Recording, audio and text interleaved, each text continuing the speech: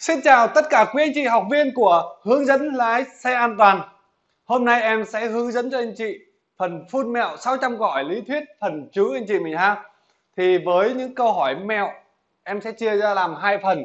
Thứ nhất là phần chứ của chúng ta và thứ hai là phần biển báo xa hình. Thì hôm nay video này em sẽ hướng dẫn cho anh chị về phần chứ. Thì uh, trong cái quá trình hướng dẫn em rất là mong muốn anh chị học hiểu và em cũng làm một số cái mẹo như thế này để hỗ trợ thêm cho anh chị cái phần thi chúng ta để chúng ta thi tốt hơn. Có nhiều um, giáo viên với tư tưởng là không có học mẹo mà phải học hiểu. Thì như vậy đó là một cái tư tưởng đúng đắn. Nhưng để mà hỗ trợ cho anh chị thi tốt và đạt kết quả cao trong cái phần thi lý thuyết của chúng ta thì em vẫn đưa ra một số cái mẹo để anh chị làm tốt hơn cái phần thi của chúng ta anh chị mình ha. Rồi đây là full mẹo 600 câu hỏi lý thuyết phần chữ.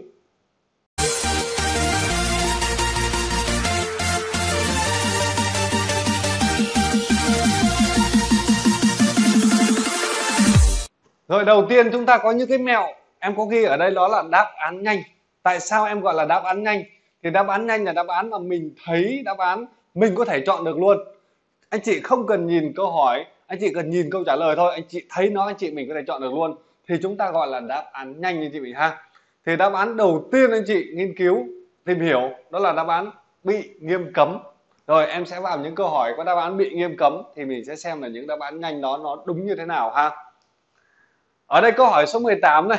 Ví dụ như anh chị không cần đọc câu hỏi, anh chị nhìn vào đáp án anh chị thấy ý số 2 của mình có ba từ bị nghiêm cấm. Anh chị nhớ chỉ có ba từ như vậy thôi ha. Bị nghiêm cấm thì chắc chắn nó là đáp án đúng. Thì ở đây ý số 2 có bị nghiêm cấm mình chọn luôn được. Anh chị thấy không? Mình không cần đọc câu hỏi luôn. Mà anh chị thấy là câu hỏi 18 của chúng ta là câu hỏi có gắn sao? Có nghĩa là câu điểm liệt. Mà câu điểm liệt là mình chắc chắn là mình không được làm sai rồi. Tại vì sai chúng ta bị loại luôn anh chị thấy đáp án bị nghiêm cấm, mình chọn rồi, thì mình không phải lo gì hết ha. Câu hỏi chúng ta là hành vi đưa xe cơ giới, xe máy chuyên dùng không đảm bảo tiêu chuẩn an toàn kỹ thuật và bảo vệ môi trường, vào tham gia giao thông đường bộ có bị nghiêm cấm không? Ở đây mình không đảm bảo tiêu chuẩn an toàn kỹ thuật bảo vệ môi trường là mình bị cấm là đúng rồi, cho nên chắc chắn mình sẽ là bị nghiêm cấm. Thế để làm sao để anh chị biết là nó có đảm bảo hay không? Thì đó là việc mình đi đăng kiểm. Nếu như cơ quan đăng kiểm họ cấp giấy đăng kiểm cho mình thì có nghĩa là mình còn đảm bảo tiêu chuẩn an toàn kỹ thuật. Còn cơ quan đăng kiểm mà họ không cấp giấy đăng kiểm cho mình thì mình không còn đảm bảo nữa chị ha. Rồi, câu hỏi 20 đúng không ạ? Anh chị cũng thấy ý số 1 chúng ta có từ bị nghiêm cấm. Anh chị thấy có ba từ như vậy thôi. Thì mình cũng chọn luôn là đáp án đúng được. Đáp án nhanh mà, anh chị ha. Thấy mình chọn luôn. Thì người điều khiển phương tiện tham gia thông đường bộ mà trong cơ thể có chất ma túy có bị nghiêm cấm hay không? Ở đây anh chị điều khiển xe mà dương tính với ma túy là bị cấm rồi. Cho nên mình sẽ chọn đáp án bị nghiêm cấm. Anh chị thấy đáp án nhanh của mình là bị nghiêm cấm.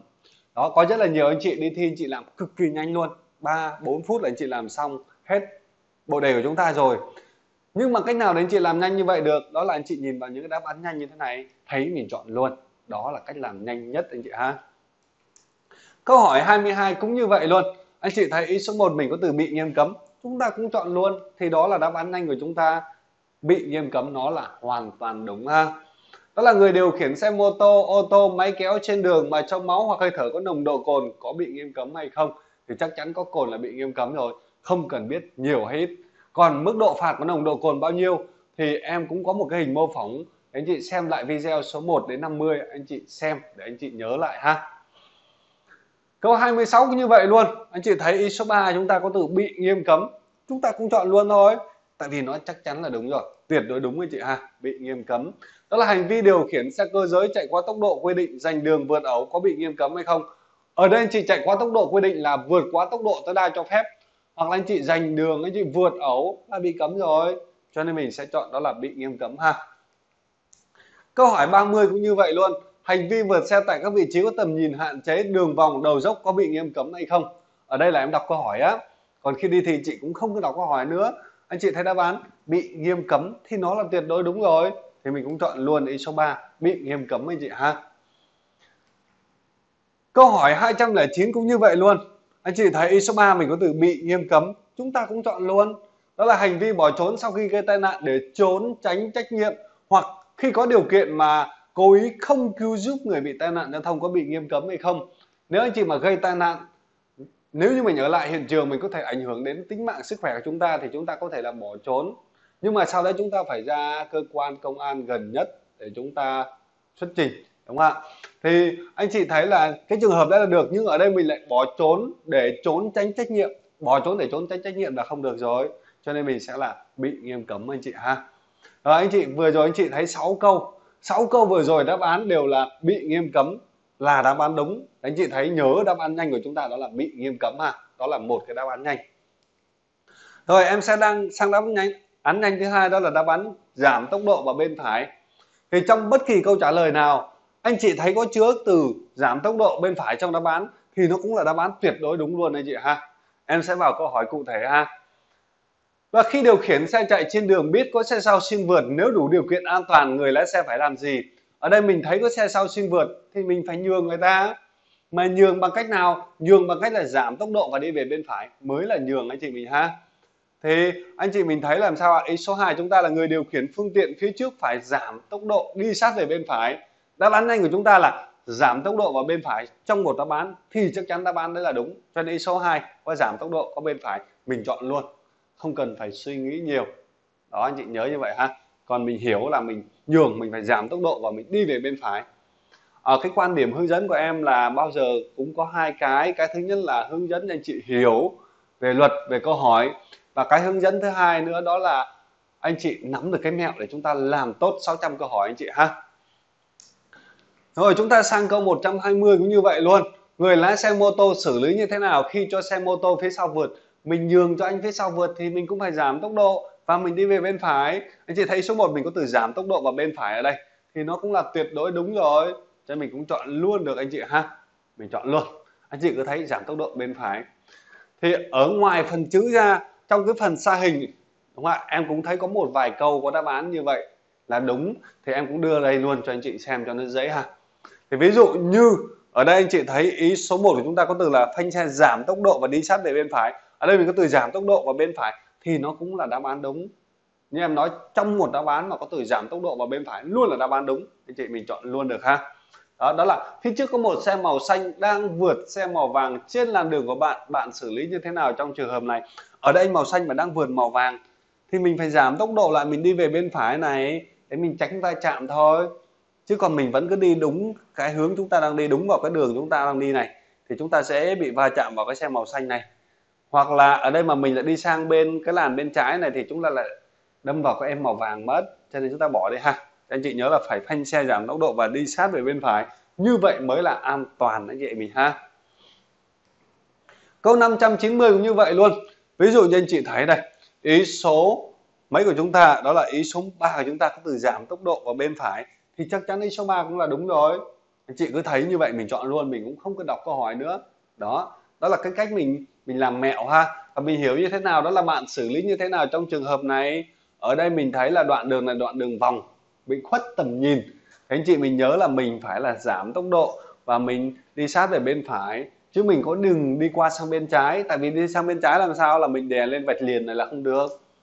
Hoặc là khuất tầm nhìn, mình mà đi sang bên trái thì cái xe đi ngược chiều, người ta đi tới, người ta rất là dễ va chạm với mình anh chị ha. Cho mình phải phanh xe giảm tốc độ và đi sát về bên phải mới là đúng. Anh chị thấy làm sao ạ?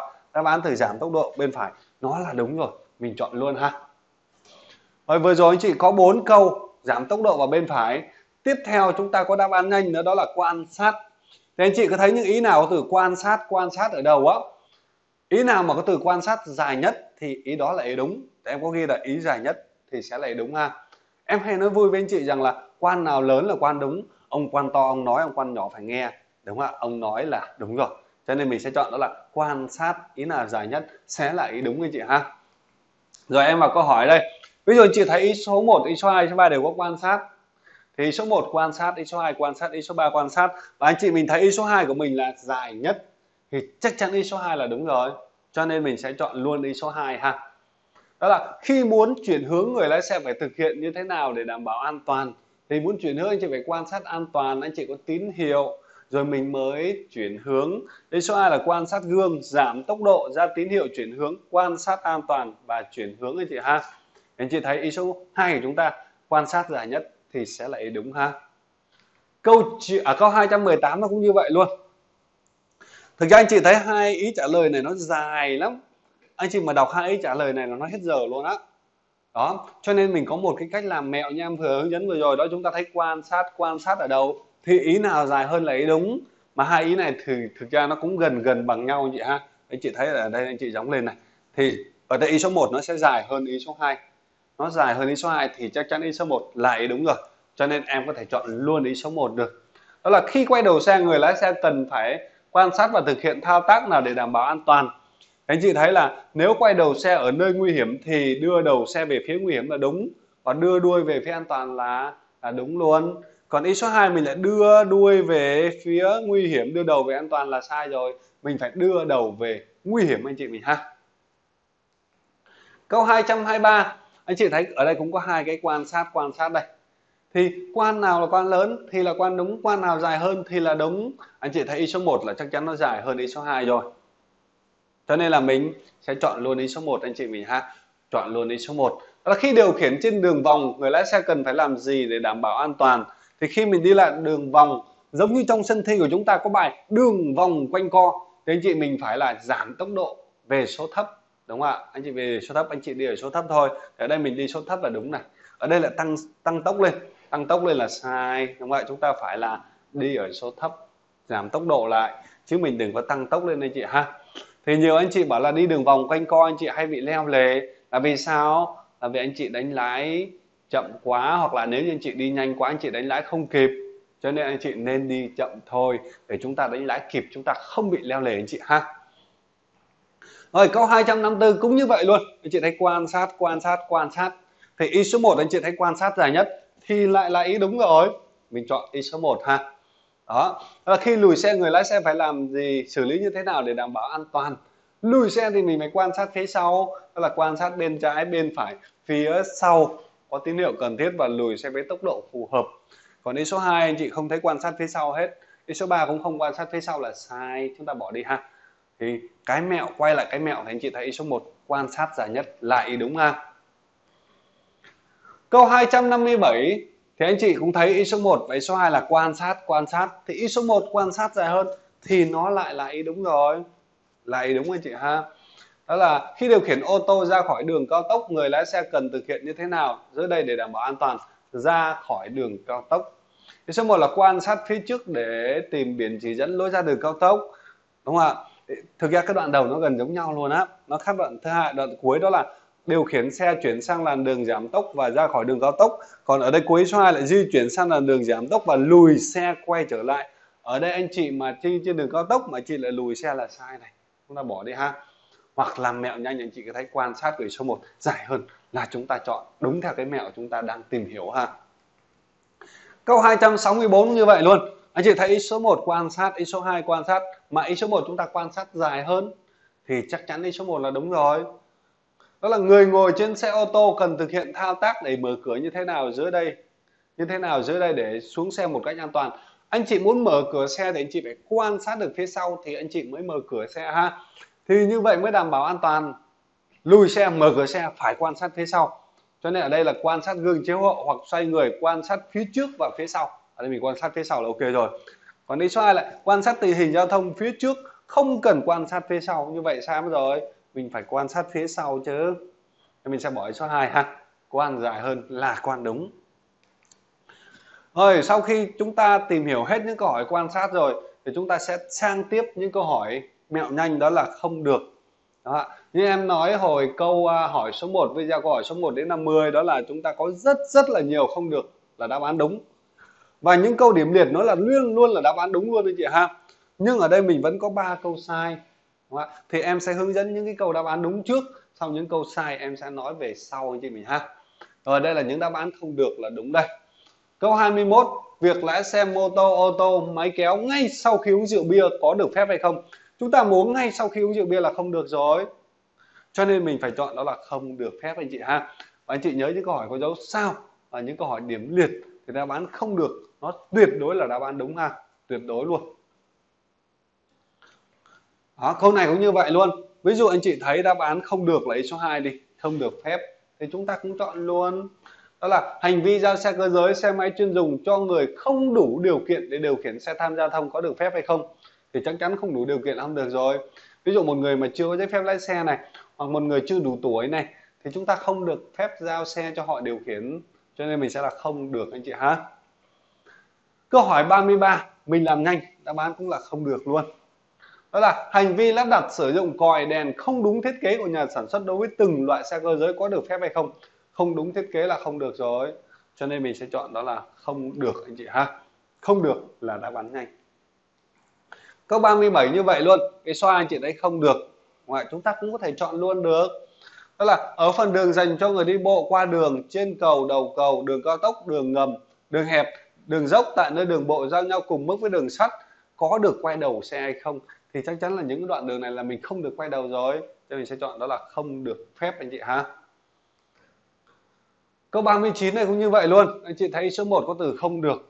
Chúng ta cũng chọn luôn đó là bạn đang lái xe phía trước có một xe cứu thương đang phát tín hiệu ưu tiên, bạn có được phép vượt hay không? Thì xe cứu thương mà đang phát tín hiệu ưu tiên thì ánh đang là xe ưu tiên, mà đang là xe ưu tiên chúng ta phải nhường, chứ chúng ta không được vượt anh chị ha. Chúng ta sẽ bỏ đi. Chúng ta sẽ chọn đó là không được vượt. Câu 43 anh chị thấy ở đây có từ không được dừng đỗ xe. Thì không được dừng đỗ xe cũng là đúng rồi. Mình sẽ chọn ý không được ha. Đó là người điều khiển phương tiện giao thông trên đường phố có được dừng đỗ xe trên miệng cống thoát nước, miệng hầm có đường điện thoại, điện cao thế, chỗ dành riêng cho xe chữa cháy lấy nước hay không, thì mình sẽ chọn đó là không được. Câu 44 cũng như vậy luôn anh chị ha. Anh chị thấy số 4 mình không được phép, thì mình cũng chọn luôn được là đáp án đúng. Đó là khi xe đã kéo một xe hoặc xe đã kéo một rơ móc, bạn có được phép kéo theo, kể cả xe thô sơ hoặc xe rơ móc thứ hai hay không, thì cái xe công chẳng hạn, nó đã kéo thêm một cánh công phía sau rồi mà nó lại kéo thêm một ô tô phía sau, hoặc một cái xe đạp phía sau chẳng hạn, là không được rồi. Cho mình sẽ chọn đó là không được. Hoặc đáp án không được, lại là đáp án đúng rồi. Câu 45 ha. Là người điều khiển mô tô, hai bánh mô tô, ba bánh xe gắn máy có được sử dụng để kéo đẩy hoặc đẩy xe khác không? Thì mình đi hai bánh, ba bánh mình mình kéo đẩy xe khác là không được rồi. Hoặc đáp án nhanh của chúng ta là không được, là đáp án đúng. Cho mình sẽ chọn đi số 4 ha. Không được phép. Câu 46 như vậy là khi điều khiển xe mô tô hai bánh, xe mô tô ba bánh, xe gắn máy, những hành vi buông cả hai tay, sử dụng xe để kéo đẩy xe khác. Câu trước chúng ta bảo là dùng hai bánh, ba bánh để kéo đẩy xe khác là không được, thì bây giờ cũng là không được rồi.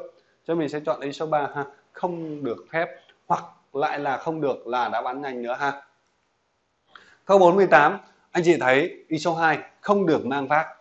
Mình có thể chọn luôn được, kể cả anh chị chưa cần đọc câu hỏi mình có thể chọn luôn được đó là người ngồi trên xe mô tô hai bánh, ba bánh, xe gắn máy, khi tham gia giao thông có được mang vác vật cồng kềnh hay không?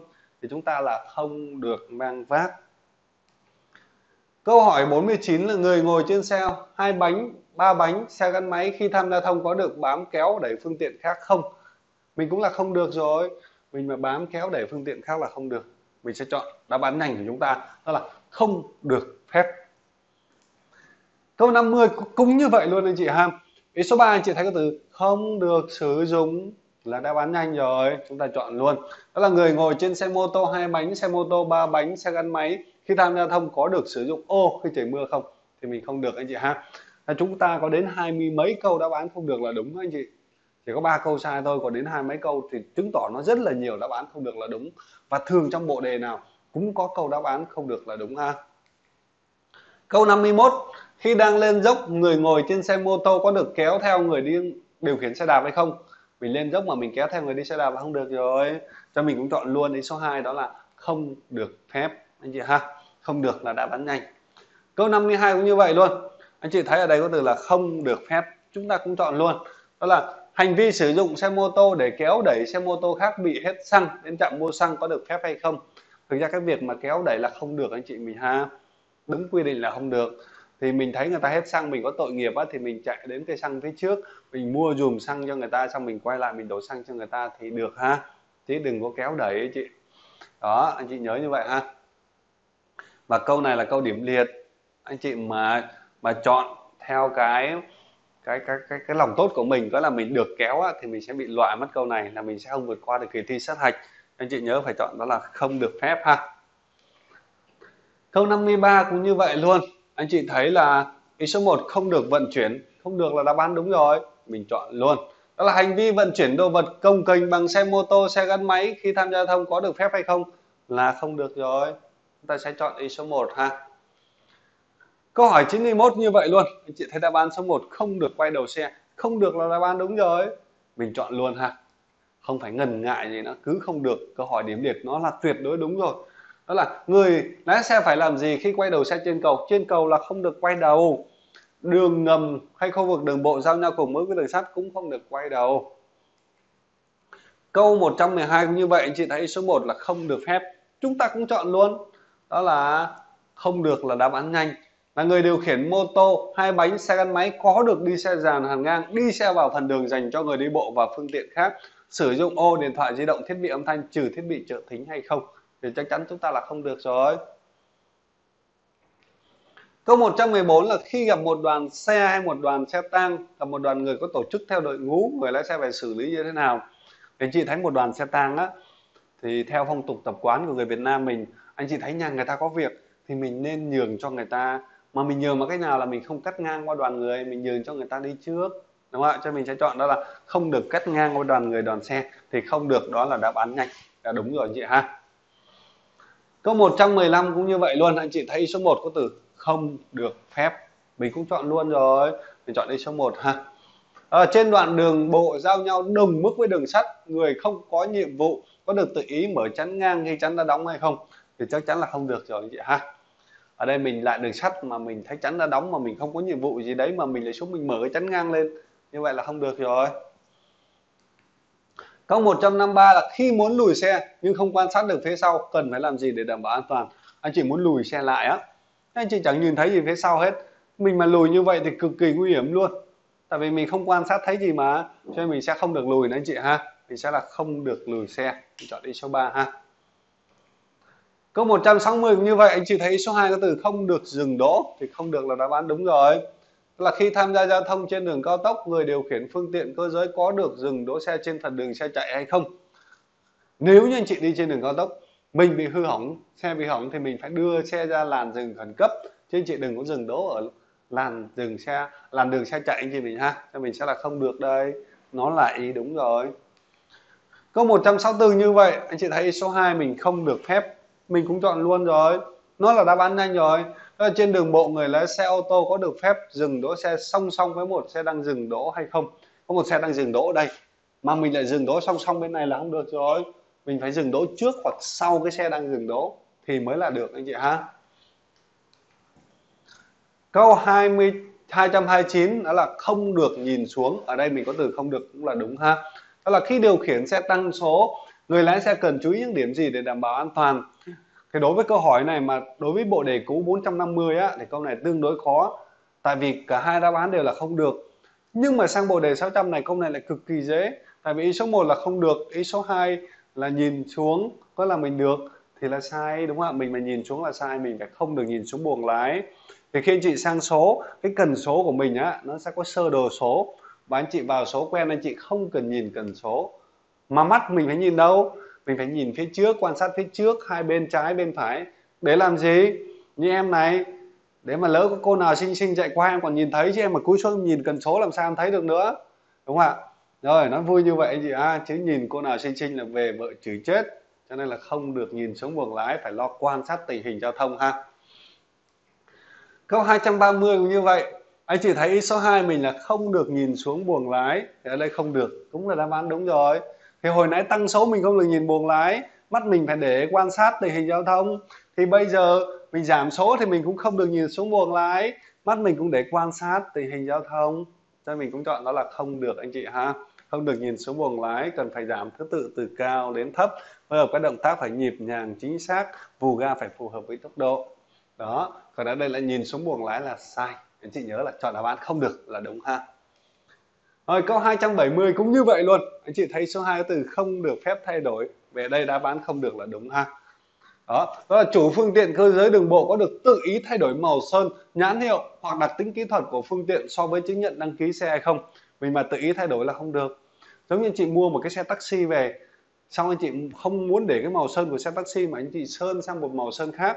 Thì khi mà anh chị muốn sơn sang màu sơn khác, thì anh chị phải xin sở giao thông vận tải cấp phép cho anh chị thì anh chị mới được sơn ha.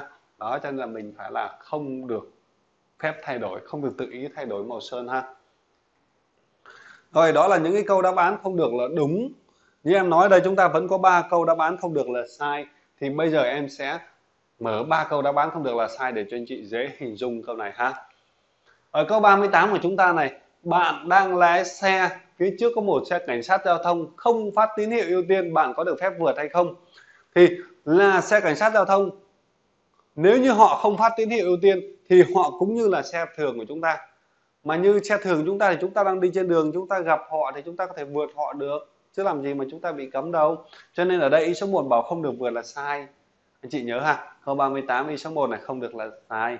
Đó, cho mình sẽ bỏ ý số 1 này đi. Còn ý số 2 là được vượt khi đang đi trên cầu. Trên cầu anh chị không được vượt. Rồi tiếp theo là được phép vượt khi đi qua nơi đường giao nhau đường giao nhau có nghĩa là ở ngã ba, ngã tư. Mà ngã ba, ngã tư anh chị mình cũng không được vượt đâu. Cho nên ở đây mà vượt chỗ, đường giao nhau là sai. Còn ý số 4 là được vượt khi đảm bảo an toàn. Ở đây chúng ta thấy an toàn, chúng ta được vượt là đúng rồi anh chị ha. Nên mình sẽ chọn ý số 4 này. Câu 44 là khi xe đã kéo một xe hoặc xe đã kéo dơ móc, bạn có được phép kéo thêm kể cả xe thô sơ hoặc xe dơ móc thứ hai không? Thì chắc chắn là mình không được phép kéo rồi nhưng tại sao em lại đưa cái câu này vào cái câu đã bán không được là sai? Tại vì ở đây mình sẽ có hai ý không được lận. Chị nhớ à ở đây có hai ý không được. Thì sẽ có một ý không được là sai, còn một ý không được là đúng. Ví dụ như ở đây là không được phép kéo là đúng này. Cho mình sẽ chọn ý số 4 còn tại sao ý số 3 không được là sai? Thì em sẽ đọc ha, đó là không được thực hiện vào ban ngày. Ở đây người ta chỉ bảo là không được thực hiện ban ngày thôi, còn ban đêm là được phép kéo là sai. Cho dù ban ngày hay ban đêm mình cũng không được không được phép kéo luôn. Cho nên ở đây là bảo không được thực hiện vào ban ngày, không thôi là sai chị ha. Mình phải là tuyệt đối không được phép cho dù ngày hay đêm ha. Đó, cho nên ý số 3 của câu hỏi 44 đáp án không được là sai. Câu 105 à 102 đúng không ạ? Trên đường cao tốc, người lái xe phải dừng đỗ xe như thế nào để đảm bảo an toàn? Trên đường cao tốc thì anh chị sẽ được dừng đỗ xe ở những nơi nào quy định cho phép dừng đỗ xe? Cho nên ý số 1 bảo là không được dừng đỗ xe là sai mình bỏ đi ha. Nếu anh chị mà đi cao tốc Quảng Ngãi đi Đà Nẵng á, đường cao tốc đấy nó rất là dài, nó hơn 100 km cho nên là anh chị nào mà đi buổi tối, em đã từng đi buổi tối một lần là từ 2 đến 3 giờ sáng á, cái khoảng thời gian đấy cực kỳ buồn ngủ anh chị mình ha, cực kỳ buồn ngủ. Cho nên em phải tấp vào cái chỗ mà quy định dừng đỗ xe thì em sẽ dừng đỗ đấy để em nghỉ một chút. Đó, thì anh chị mình thấy là vẫn có những chỗ để mà dừng đỗ như vậy. Đó là dừng đỗ ở nơi quy định thế nên ý số 1 bảo không được dừng đỗ là sai, mình vẫn được ha. Còn ý số 2 là chỉ được dừng đỗ xe ở nơi quy định. Ở đây mình dừng đỗ nơi quy định là đúng rồi, đúng thì mình chọn hai luôn ha. Còn lý số 3 là chỉ được dừng đỗ xe nơi đường rộng. Đường rộng mà không cho phép dừng đỗ, anh chị mình cũng không được dừng đỗ đâu ha. Anh chị mình nhớ như vậy, mình chỉ là dừng đỗ nơi quy định thôi. Cho nên em mới nói ở đây là câu, có ba câu đáp án không được là sai thì đây là một trong ba câu anh chị ha. Vừa rồi chúng ta đã qua ba câu đáp án không được là sai rồi. Anh chị cần lưu ý những câu này ha rồi tiếp theo chúng ta có cái mẹo nữa. Đúng không? anh chị thấy trong phần chữ ta, của chúng ta có những câu hỏi mà có từ tham gia này. Câu hỏi có chứa cụm từ tham gia. Nhưng mà anh chị cũng phải nhớ đó là tham gia trong ngoặc kép ha. Có tham gia trong ngoặc kép thì mình sẽ chọn ý số 3 luôn. Có tham gia trong ngoặc kép mình chọn 3 em hay nói đó là có tham gia mình chọn ý 3 anh chị nhớ như vậy ha. Rồi, ví dụ như câu hỏi số 10 đây. Phương tiện tham gia giao thông đường bộ gồm những loại nào? Anh chị thấy có từ tham gia trong ngoặc kép đấy. Thì có tham gia, chúng ta chọn ý 3 thế đây, ý số 3 của mình là ý đúng ha. Đó là phương tiện giao thông cơ giới đường bộ, phương tiện giao thông thô sơ đường bộ và xe máy chuyên dùng. Thì những cái loại xe nào đi ra đường đều là tham gia giao thông đường bộ hết. Cho nên là chúng ta sẽ chọn cả hai ý này, tương ứng với số 3 của chúng ta. Câu hỏi 11 cũng như vậy luôn. Người tham gia giao thông đường bộ gồm những đối tượng nào? Anh chị lại thấy có từ tham gia trong ngoặc kép nữa rồi có tham gia, chúng ta chọn ý 3 em chị nhớ phải là trong ngoặc kép ha. Mình sẽ chọn luôn ý 3 này.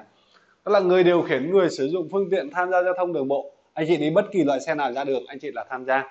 Cái số hai là người điều khiển dẫn dắt súc vật, người đi bộ trên đường, anh chị chăn trâu, chăn bò, hay đi làm gì đấy ra đường đều là tham gia hết. Đó, cho nên cả hai ý này đều là tham gia hết thì mình phải chọn ý số 3 ha. Câu hỏi 12 cũng như vậy, người điều khiển phương tiện tham gia giao thông đường bộ gồm những đối tượng nào? Anh chị lại thấy có tham gia trong ngoặc kép, thì mình lại chọn ba nữa. Có tham gia mình chọn ý ba. Cho nên ý số 3 đây là ý đúng ha. Đó là người điều khiển xe cơ giới, điều khiển xe thô sơ, tham gia là là đúng này. Rồi người điều khiển xe máy chuyên dùng, tham gia giao thông đường bộ cũng đúng luôn này. Ngày hôm nay anh chị đi xe lưu, anh chị đi xe máy múc ra đường cũng là tham gia giao thông rồi. Anh chị đi xe đạp ra đường cũng là tham gia, anh chị đi ô tô ra đường cũng là tham gia giao thông cho nên tất cả những người điều khiển như thế này đều là tham gia giao thông hết anh chị ha. Thì mình sẽ chọn ý số 3 anh chị thấy vừa rồi là ba câu hỏi đều có từ tham gia trong ngoặc kép và mình đều chọn ý ba. Thì em nhẩm cho dễ nhớ là có tham gia mình chọn ý ba. Những anh chị phải lưu ý đó là trong ngoặc kép như thế này ha. Rồi chúng ta sẽ có những câu hỏi dừng đỗ mà anh chị hay bảo anh chị làm sai đây. Dừng đỗ xe. Thì đối với những câu hỏi mà dừng đỗ xe anh chị chọn luôn ý hai có hỏi dừng anh chị chọn đi hai, đỗ xe anh chị cũng chọn đi số 2 thì ngày hôm nay em hướng dẫn mẹo cho anh chị, cho nên em sẽ thiên về mẹo hơn anh chị ha. Còn anh chị học hiểu, anh chị hãy học là theo từng video một, đúng không ạ? Từ câu 1 đến 50 50 100 đó cho đến hết 600 thôi. Anh chị học như vậy, anh chị sẽ là học hiểu. Còn ở đây thì em sẽ hướng dẫn về mẹo, thì sẽ thiên về mẹo nhiều hơn ha. Rồi, câu 14 này, trong các khái niệm dưới đây, dừng xe được hiểu như thế nào là đúng? Dừng xe mình chọn luôn ý số 2 hỏi dừng xe mình chọn số 2 luôn đây. Thì anh chị nhớ dừng xe là đứng yên tạm thời. Có nghĩa là chúng ta dừng một chút thôi, chúng ta đi. Thì ý số 1 là trạng thái đứng yên của phương tiện giao thông không giới hạn thời gian là sai này. Ý số 3 là trạng thái đứng yên của phương tiện giao thông không giới hạn thời gian cũng sai này. Mình dừng một chút, mình đi mà tại sao lại bảo là không giới hạn? Như vậy là sai ha.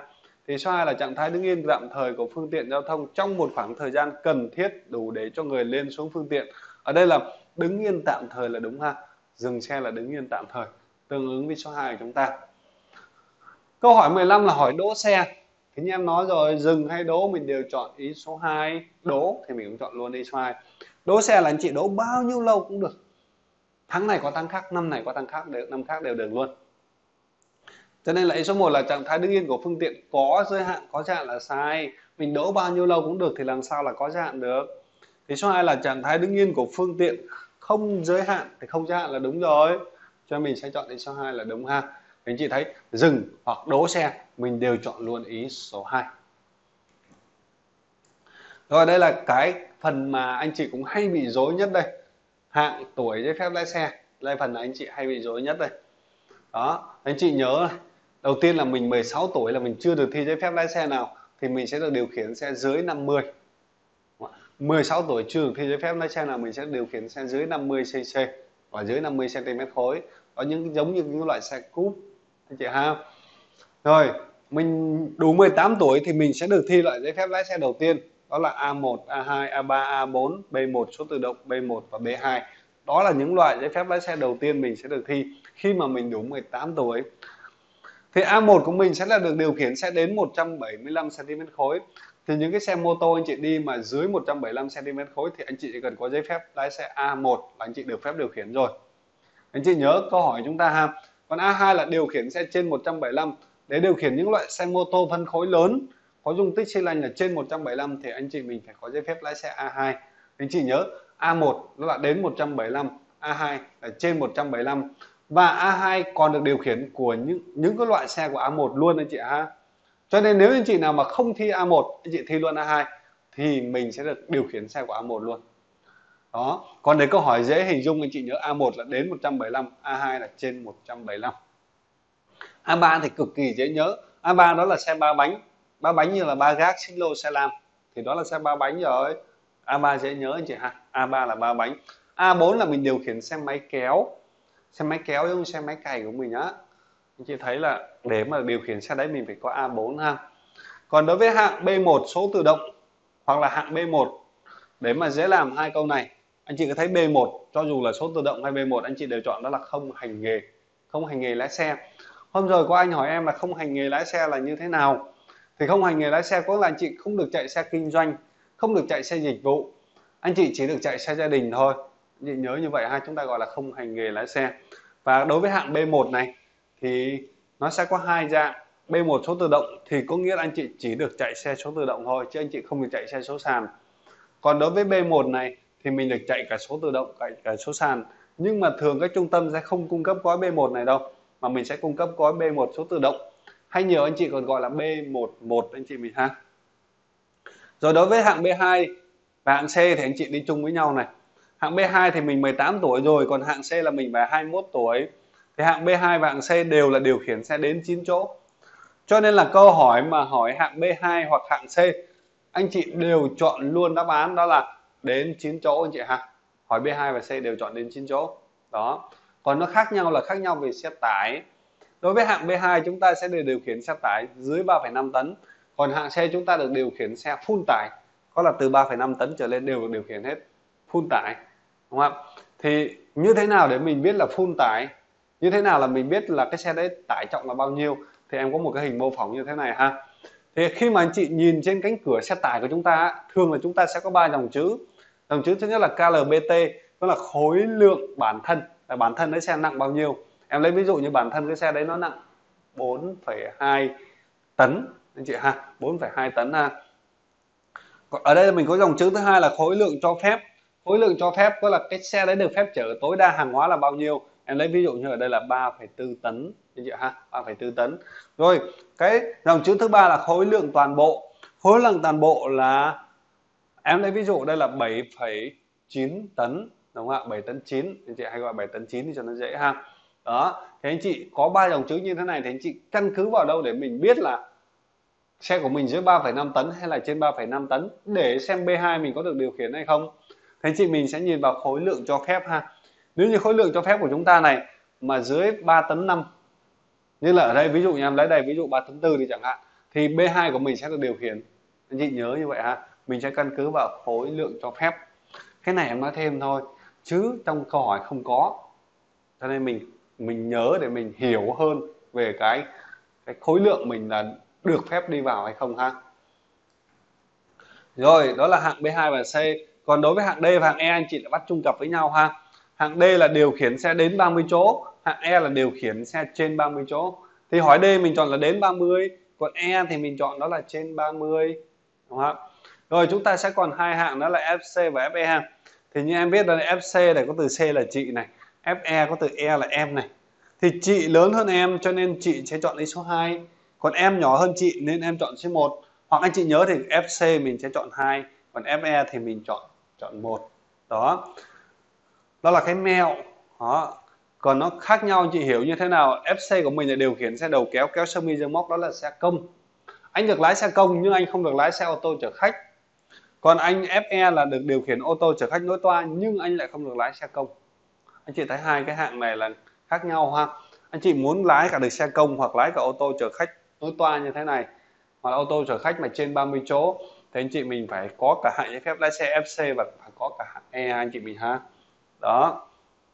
Anh chị nhớ như vậy, thì mình sẽ bắt cặp như vậy. Còn tuổi anh chị nhớ cho nó dễ này. Câu hỏi anh sẽ là 18 21 24 27 anh chị nhẩm như vậy ha. 18 21 24 27 nó cách nhau 3 năm thôi. Đầu tiên là 18 đến 21 đến 24 27 18 là B2 21 là hạng C 24 là hạng D, hạng E là 27 anh chị ha. 18 21 24 27 đó là tuổi ha. Rồi em sẽ vào câu hỏi đây câu hỏi năm tư là người đủ bao nhiêu tuổi thì được điều khiển xe mô tô ô tô tải máy kéo trọng tải 3,5 tấn trở lên? Hạng xe hạng B2 kéo dơ móc. Người đủ bao nhiêu tuổi đúng không ạ? Mà ở đây là từ 3,5 tấn trở lên như em nói hồi nãy đó phải là giấy phép lái xe hạng C. C thì mình phải đủ 21 tuổi rồi. B2 là 18 C là 21 cách nhau 3 năm.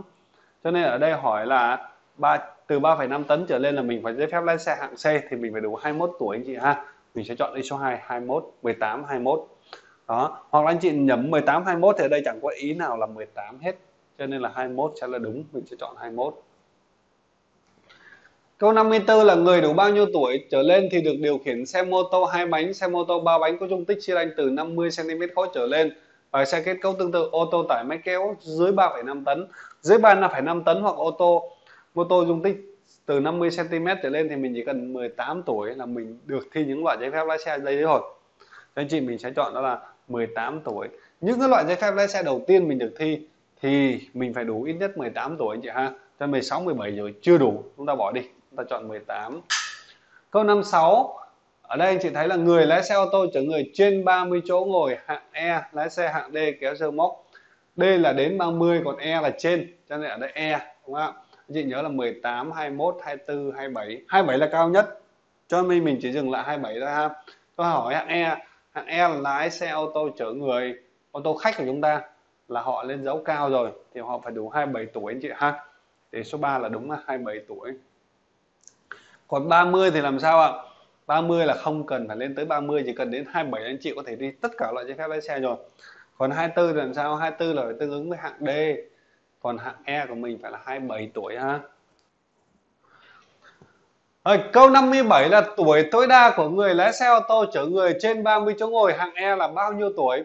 Thì đối với câu hỏi tuổi tối đa anh chị mình sẽ chọn đáp án có số 50 anh chị mình ha. Tuổi tối đa chọn đáp án số 50. Thì đây chị thấy số 1 mình có số 50 này, mình chọn luôn.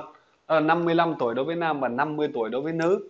Thì đối với những anh nào, những bác tài nào mà lái xe khách là phải có giấy phép lái xe hạng E, đúng không ạ? Trên 30 chỗ phải giấy phép lái xe hạng E thì đối với các anh nam thì chúng ta chỉ được lái tối đa đến 55 tuổi thôi.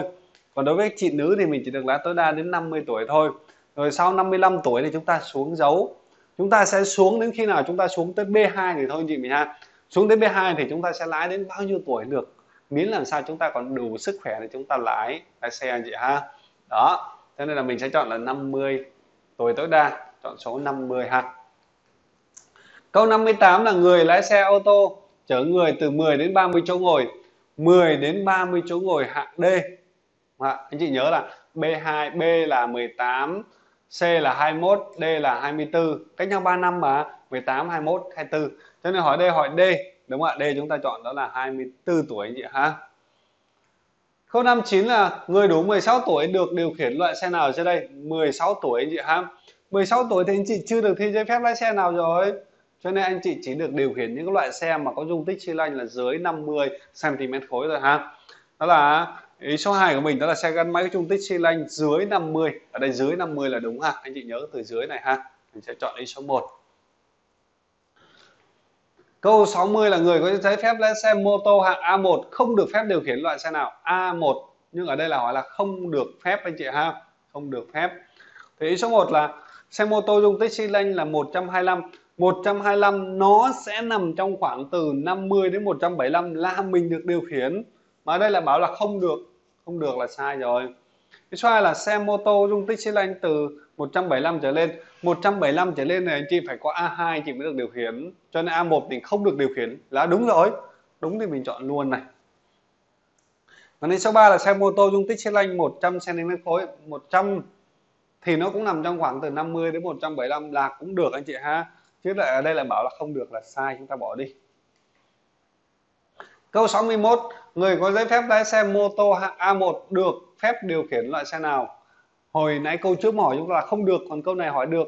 Thì chị nhớ A1 là được từ 50 đến 175 cho nên là ý số 1 là xe mô tô có dung tích xi lanh từ 50 đến 175 là đúng này. Và ý số 2 là xe mô tô ba bánh dùng cho người khuyết tật. Anh chị thấy những cái xe mô tô ba bánh á, nhất là anh chị nào ở Sài Gòn, Hà Nội, anh chị sẽ thấy rất là nhiều thì đó là những cái xe mà có dung tích xi lanh từ 50 đến 175 họ chế thêm bánh để cho người, khuyết tật người ta sử dụng một cách dễ dàng, thuận tiện.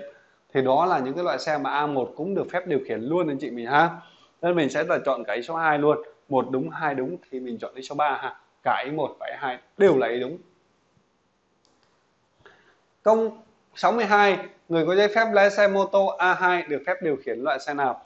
A2 thì mình sẽ điều khiển nó là trên 175 cho nên ở đây là xe mô tô ba bánh dùng tích xi lanh từ 175 trở lên. Trở lên nó là trên rồi, là đúng rồi. Hoặc là như em nói là anh chị không thi A1 anh chị thi luôn A2 thì anh chị sẽ được điều khiển những cái loại của A1 luôn, cũng đúng luôn. Cho nên mình sẽ chọn số 2 ha. Câu 63 là người có giấy phép lái xe mô tô A3 A3 thì dễ rồi. A3 đó là ba bánh. Ba bánh như xích lô xe lam đúng không ạ? Anh chị thấy dễ không? Mình chọn đi số 1 ha. Câu 64 là người có giấy phép lái xe B1 số tự động. Cứ câu hỏi B1 anh chị đều chọn đáp án là không được hành nghề. Đó, ví dụ như số 1 đây, không được hành nghề, thì sẽ là đáp án đúng. Mình chọn luôn đi số 1 ha. Cứ hỏi B1 anh chị chọn đó là không được hành nghề. Đấy, câu hỏi này cũng như vậy luôn. Người có giấy phép lái xe hạng B1 cứ B1 mình chọn đó là không được hành nghề, thì tương ứng với số 2 chúng ta là không hành nghề lái xe còn không hành nghề lái xe là như thế nào thì hồi nãy em có giải thích rồi. Anh chị nhớ ha? Câu 66 như vậy, người có giấy phép lái xe hạng B2 được phép điều khiển loại xe nào? B2 như em nói B2 và hạng E mình đều chọn đáp án từ là đến 9 chỗ. Nhưng ở đây số 1 anh chị có từ trên này. Nó gần giống từ đến á. Anh chị hay bị chọn sai lắm. Anh chị nhớ là trên là sai. Trên, ví dụ như ở đây trên 9 chỗ mình phải có hạng D cơ chứ không ạ? B2 là mình không được điều khiển đâu nên mình sẽ bỏ đi ha. Mình sẽ chọn ô tô chở người đến 9 chỗ. Đến là đúng ha đến 9 chỗ. Câu 67 như vậy hỏi giấy phép lái xe hạng C. C của mình cũng là đến 9 chỗ mà ý số 1 lại là trên. Đáp án này cực kỳ nguy hiểm. Nó dễ bấy cho anh chị bị hư bị bị sai lắm ha. Thì mình sẽ bỏ từ trên đi. Mình sẽ chọn đó là đến 9 chỗ.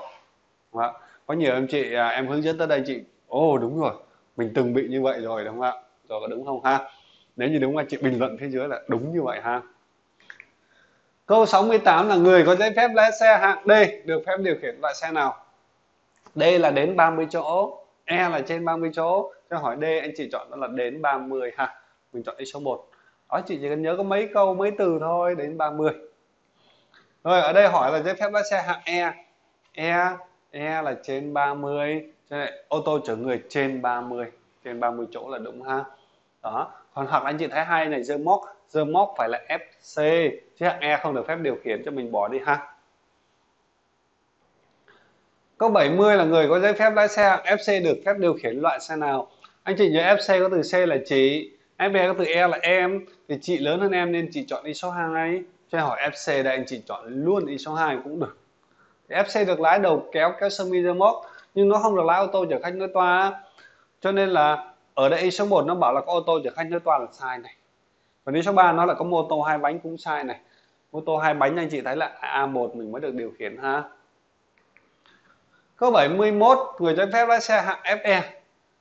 FE từ E là em, em nhỏ hơn chị nên em chọn đi số 1. Đúng không ạ? Mình thấy FE mình chọn luôn đi số 1. Em nói thì nó dài dòng như vậy thôi. Tức là anh chị nhớ chị làm cực kỳ nhanh những câu như thế này luôn á. Đó, mình sẽ chọn FE là FE là chọn đi số 1 ha. Còn đi số 2 nó có đầu kéo là sai, đầu kéo phải là FC anh chị ha. Rồi chúng ta sẽ có những câu hỏi của phần chữ nữa. Đó là có liên quan đến cảnh sát giao thông. Khi mà anh chị đi ra đường anh chị thấy cảnh sát giao thông anh chị sợ lắm. Không biết là mình có vi phạm gì đây? Không biết là có bị anh vẫy gì không? Đó cho nên là anh chị hơi lo lắng một chút. Nhưng mà anh chị hãy cố gắng học luật thì khi anh chị học luật, anh chị hiểu luật rồi, anh chị gặp cảnh sát giao thông, anh chị không có vi phạm gì hết.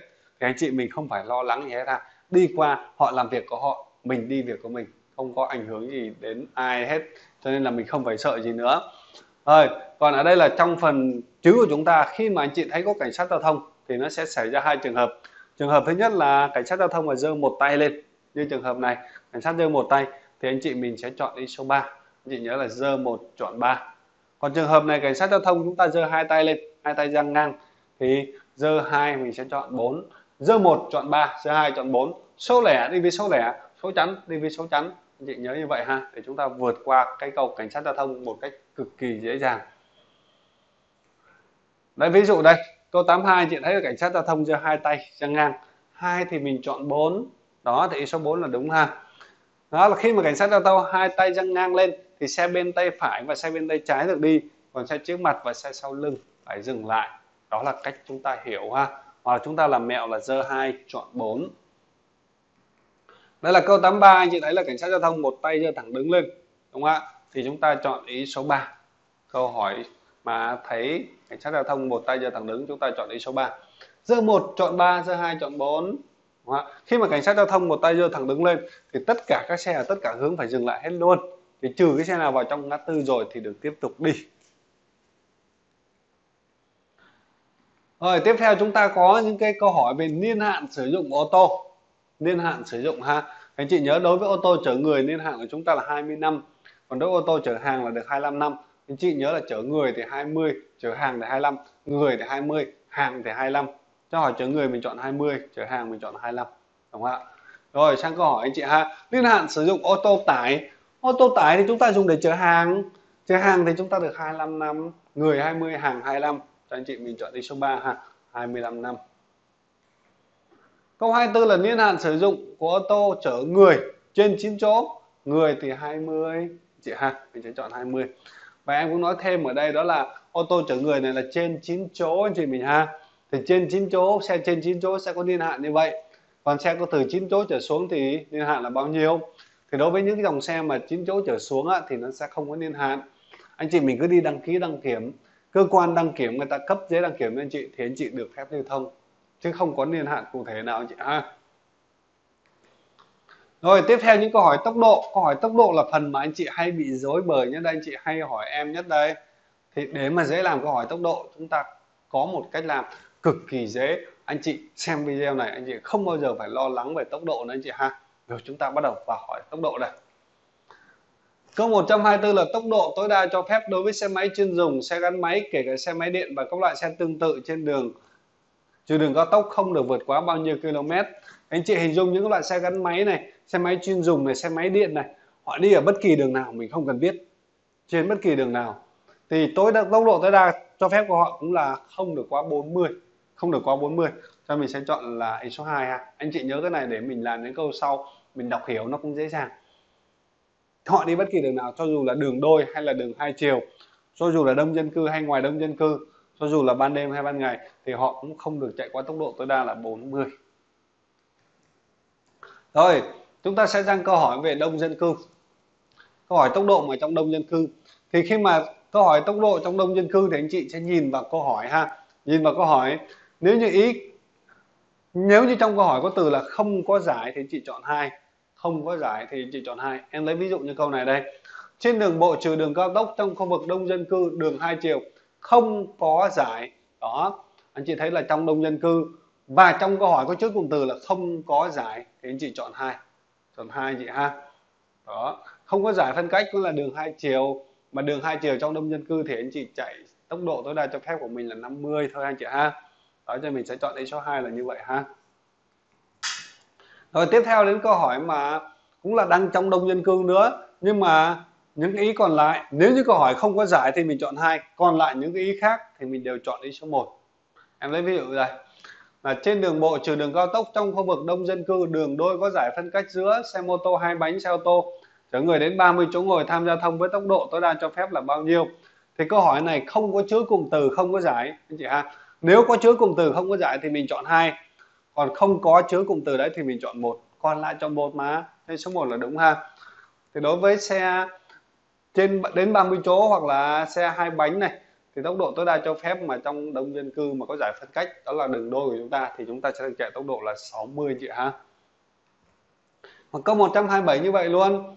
Trên đường bộ trừ đường cao tốc trong khu vực đông dân cư, đường hai chiều hoặc đường một chiều có một làn xe cơ giới loại xe nào dưới đây tham gia giao thông với tốc độ tối đa cho phép là 50 50 anh chị mình ha. Anh chị thấy làm sao ạ? 50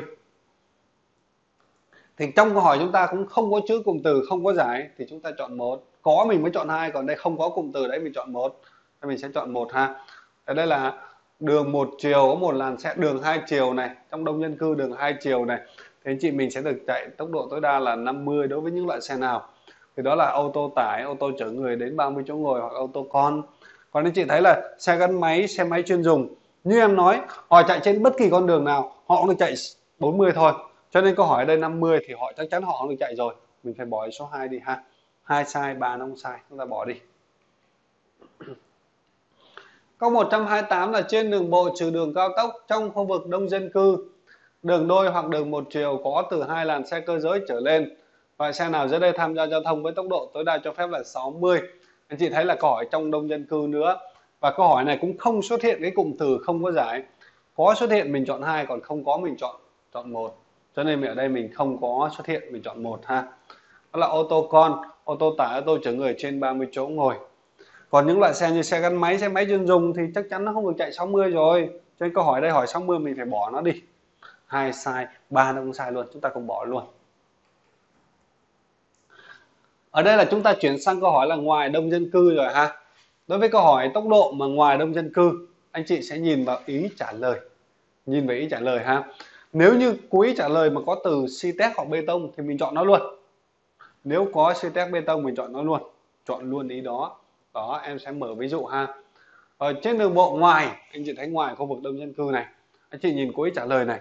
Ví dụ như cuối trả lời số 2 mình có từ test đây. Thì mình chọn nó luôn cứ có test hoặc bê tông mình chọn nó luôn. Rồi câu hỏi 131 như vậy trên đường bộ ngoài đúng không ạ? Ngoài đông dân cư. Anh chị thấy số 1 có từ bê tông này, mình chọn nó luôn. Cứ có test hoặc bê tông mình chọn nó luôn mà. Câu 132 đúng không ạ? Trên đường bộ ngoài. Ngoài đấy chị ha. Anh chị thấy số 1 có từ bê tông xi đây.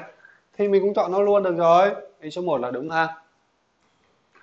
Câu 134 như vậy luôn trên đường bộ ngoài. Anh chị thấy ngoài nữa thế đây anh chị thấy là ý số 2 của chúng ta có từ là xi đây. Thì chúng ta cũng chọn nó luôn được. Anh chị thấy dễ không? Cái câu hỏi tốc độ nó cực kỳ dễ luôn á. Nó không có khó đâu. Cho anh chị đừng có bao giờ nghĩ là tốc độ sợ lắm ha.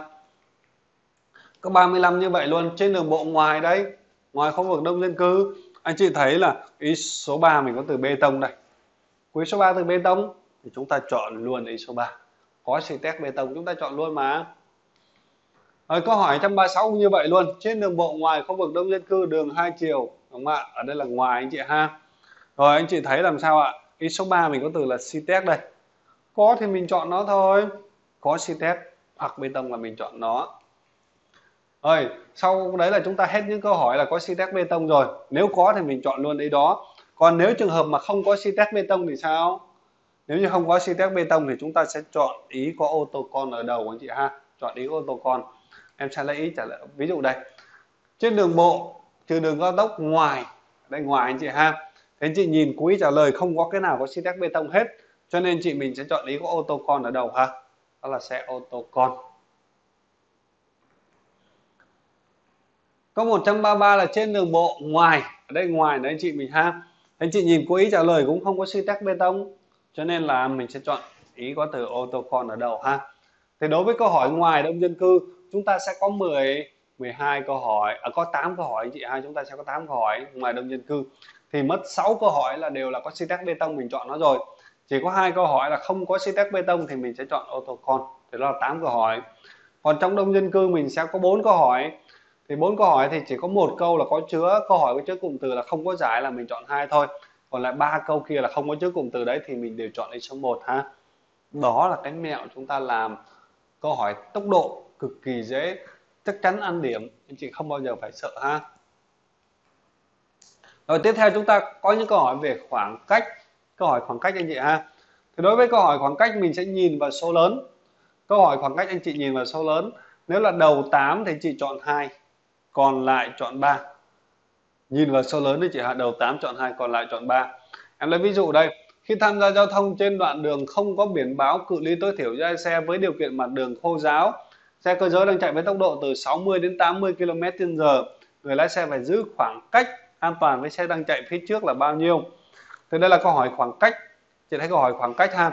Thì mình thấy là 60 đến 80 thì mình sẽ nhìn vào số lớn là số 80 mình đầu 8 thì mình chọn hai, còn lại chọn 3 thế đây là đầu 8 rồi, cho nên chắc chắn mình chọn hai.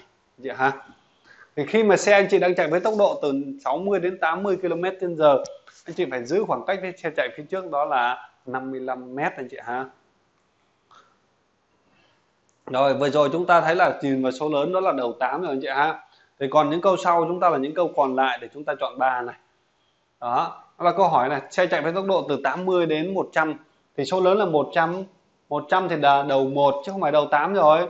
Cho nên còn lại mình phải chọn đi số 3 ha, mình sẽ chọn đi số 3 đó là xe chạy tốc độ từ 80 đến 100 thì anh chị phải giữ khoảng cách với xe chạy phía trước là 70 mét anh chị ha. Câu 139 là xe chạy với tốc độ từ 100 đến 120 thì số lớn mình là 120 thì mình nhìn vào số lớn đó là đầu 1 đầu 1 thì mình sẽ là chọn 3 đầu 8 chọn hai còn lại chọn 3 mà. Cho mình sẽ chọn 3 anh chị ha. Đó là 100 mét. Là xe anh chạy đang chạy. Xe của anh chị đang chạy với tốc độ từ 100 đến 120 thì anh chị phải giữ khoảng cách với xe chạy phía trước là 100 mét hiện tại có một số dòng xe mới như là Honda Sensing thì là có thể là chủ động anh chị có thể là cài đặt chủ động giữ khoảng cách với xe chạy phía trước được. Đó, nên là anh chị mà mua xe đấy rồi, anh chị đang có ý tưởng mua xe đấy thì anh chị mình có thể biết thêm cái chức năng đấy, chúng ta giữ khoảng cách an toàn với xe chạy phía trước một cách tự động do xe tự điều chỉnh ha. Rồi, câu 140 anh chị thấy là khi điều khiển xe chạy với tốc độ dưới 60 ở đây dưới 60 thì anh chị thấy có mỗi mình con số 60 thôi thì mình nhìn luôn vào số 60 có mỗi mình em nó thì đâu có sự lựa chọn ở đâu. Thì mình nhìn luôn vào em đấy ha. Thì vẫn là đầu 8 chọn 2 còn lại chọn 3 thì cái này là đầu 6 không phải đầu 8 cho anh chị mình vẫn chọn đi số 3 ha. Đó là chủ động giữ khoảng cách an toàn với, hợp với xe chạy liền trước của mình. Và ý số 2 là đảm bảo khoảng cách an toàn với mật độ phương tiện, tình hình giao thông thực tế rồi tiếp theo chúng ta có những câu hỏi như là lên dốc xuống dốc đường ổ gà đường ngập nước. Thì chúng ta gọi chung đó là những đoạn đường khó đi. Thì đối với những đoạn đường khó đi thì bao giờ anh chị mình cũng phải về số thấp hoặc là về số 1 anh chị ha? Bao giờ phải về số thấp hoặc là về số 1 đó cho nên anh chị thấy những câu hỏi này anh chị sẽ chọn đáp án từ về số thấp hoặc là số 1 ha? À, ví dụ câu 220 là khi điều khiển ô tô lên dốc lên dốc anh chị ha? Anh chị thấy là ý số 1 chúng ta có từ là thì số 1 chúng ta có từ là tăng số lên cao. Ở đây mình là tăng số lên cao là sai rồi. Mình lên dốc cao mình phải về số thấp từ chân dốc luôn. Ở đây về số thấp là đúng ha. Đó, mình sẽ chọn đó là về số thấp. Anh chị đã tăng số, về số, thì chúng ta chọn về số ha. Câu 221 như vậy.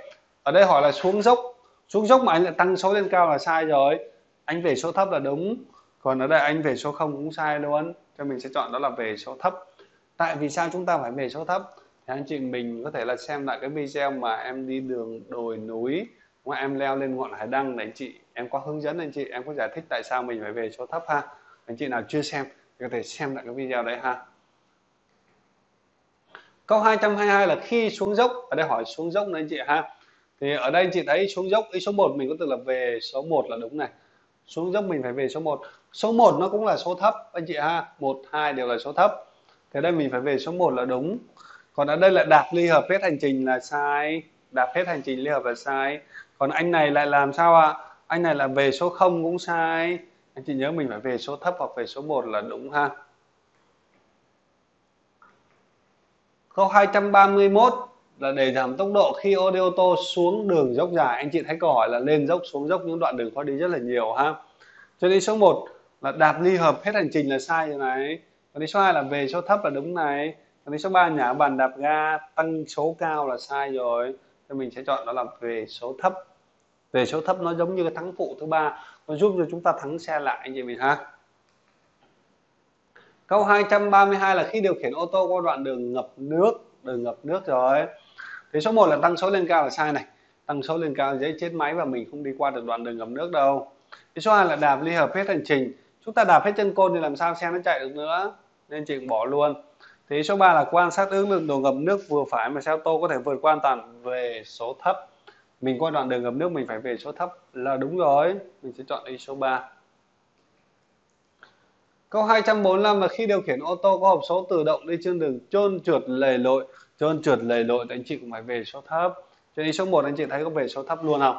Mình chọn luôn đi số 1 còn này giữ tay số D là sai, hoặc là về số N, số 0 cũng sai luôn câu 251 cũng như vậy. Khái niệm khi lái xe trên mặt đường có nhiều ổ gà. Ổ gà thì mình phải về số thấp thôi. Chứ ổ gà mình mà lao nhanh lên thì nguy hiểm với chị ha. Thì mình sẽ chọn là về số thấp này. Ổ gà mình lao nhanh là mình dễ bị sụt hố. Câu 260 cũng như vậy luôn. Khi điều khiển ô tô xuống đường dốc dài, độ dốc cao, đó, xuống dốc dài thì anh chị cũng phải về số thấp là đúng này. Còn anh này lại về số 0 là sai, mất tiêu rồi. Mình sẽ chọn về số thấp ha đó vừa rồi là chúng ta đã tìm hiểu hết những câu hỏi những cái câu hỏi về phần uh, mẹo ở phần chữ anh chị mình ha. Hết tất cả những câu hỏi mẹo phần chữ. Thì em muốn làm cái video mẹo này để hỗ trợ thêm cho những anh chị nào sắp thi kỳ thi sát hạch thôi. Còn khi anh chị chạy ra ngoài đường thì em rất là mong muốn anh chị hãy nắm được luật hiểu được luật để chúng ta ngoài cái việc mà chúng ta không có vi phạm thì chúng ta còn lái xe an toàn nữa. Đó hy vọng là video này sẽ giúp ích cho anh chị rất là nhiều trong kỳ thi sắp tới. Nếu anh chị còn thắc mắc câu hỏi nào anh chị chưa hiểu, anh chị có thể bình luận phía bên dưới và em sẽ trả lời những thắc mắc đấy cho anh chị ha. Rồi, anh chị cũng đừng quên like, share, đăng ký kênh và ấn chuông để đón xem những cái video phía sau. Video tiếp theo, phía sau sẽ là video hướng dẫn giải mẹo của phần biển báo và xa hình. Xin chân thành cảm ơn và hẹn gặp lại anh chị.